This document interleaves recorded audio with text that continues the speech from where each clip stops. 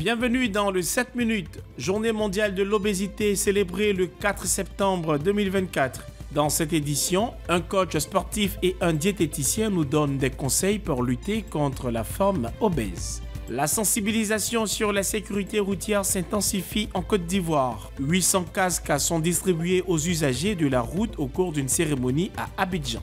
Les membres de la Fédération ivoirienne de football rendent visite aux militaires de l'état-major général des armées à Abidjan Plateau.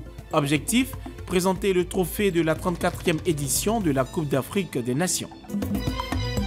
C'est une journée d'action unifiée qui appelle à une réponse cohérente et intersectorielle à la crise de l'obésité. Chaque 4 mars, la journée mondiale de l'obésité est célébrée et pour l'occasion, diététiciens et coachs sportifs sont les acteurs majeurs de cette lutte. Ici, dans cette salle de sport, des conseils sont donnés par coach Kevin Ncho. Peu du poids, d'abord, il faut attaquer tout ce qui est grand groupe musculaire, c'est-à-dire les jambes, le dos et puis les pètes.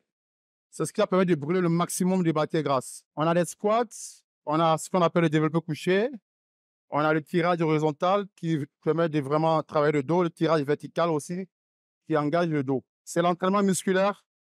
Alors, on peut le travailler aussi en combinaison avec des petites fréquences de cardio. Avoir fait un circuit qui englobe exercice cardio et exercice de renforcement musculaire. D'un autre côté, perdre du poids, c'est faire attention à son alimentation. Quand on prend du poids, c'est qu'on est en hypercalorie. Donc, pour perdre du poids, il faut être en hypocalorie. Les aliments doivent être hypocaloriques, c'est-à-dire faibles en calories. En général, beaucoup de fruits, beaucoup de légumes, les légumes bien sûr crus, ne l'oublions pas, et on consomme généralement du poisson.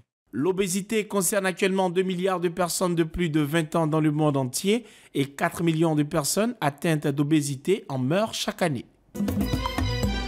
C'est reparti pour la lutte contre l'incivisme routier.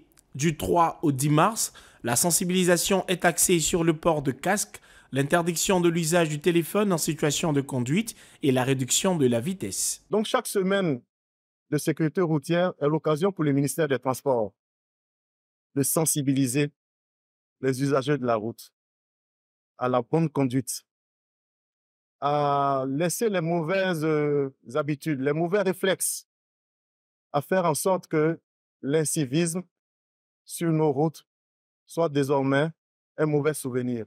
Pour cette 14e édition, 800 casques ont été distribués aux usagers de la route au cours d'une cérémonie en vue de renforcer l'opération de sensibilisation aux bonnes pratiques en matière de sécurité routière. Je remercie encore les donateurs et puis je vous encourage tous ceux qui vont avoir un casque de le promouvoir. Parce que ça permettra de sauver beaucoup de vies et puis d'éviter que beaucoup de gens passent des jours, des semaines, des mois, des années à l'hôpital les résultats actuels des précédentes éditions de la Semaine nationale de la sécurité routière ont permis de constater un changement qualitatif dans le comportement des usagers. Selon Étienne Kwaku, chargé de la coordination des actions de sécurité routière, l'on observe que les conducteurs des engins à deux roues portent des casques et le port de la ceinture de la sécurité routière devient un réflexe. Un rendez-vous important du Fonds de développement de la formation professionnelle. Dans cette salle, l'institution procède à la cérémonie d'ouverture de l'exercice 2024. C'est le lieu de présenter les résultats de l'année écoulée et de se projeter sur des perspectives de l'année 2024.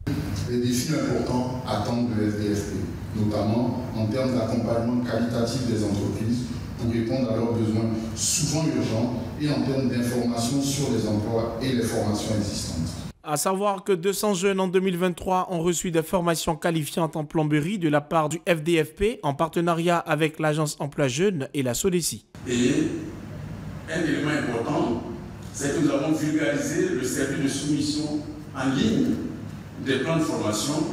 Et euh, pour cette expérience, pour cette expérience, plus de 54% des plans ont été traités, euh, ont été mis en ligne. Créé en 1991, le FDFP a pour but d'accompagner des entreprises, financer des études sectorielles qui permettront aux bénéficiaires d'être réinsérés dans le domaine professionnel pour un capital humain productif et compétitif. C'est la joie dans les locaux de l'état-major général des armées à Abidjan Plateau. L'institution militaire reçoit la Coupe d'Afrique des Nations remportée à domicile par les éléphants footballeurs. Bienvenue chez nous. Ce trophée qui fait la fierté de chaque Ivoirien et de chaque Ivoirien est le symbole éclatant d'une Côte d'Ivoire résiliente dans l'épreuve d'une Côte d'Ivoire unie et d'une Côte d'Ivoire en paix. Et surtout, une Côte d'Ivoire qui gagne. L'état-major général des armées est honoré d'abriter cette cérémonie qui transcende les frontières des terrains de football pour raviver la vie patriotique.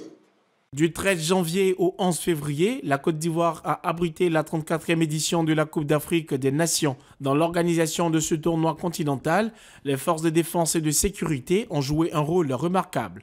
Un fait rappelé par le président de la Fédération ivoirienne de football, Idriss Diallo. Nous avons emprunté à vos corps le mot de commando. Nous en excusons.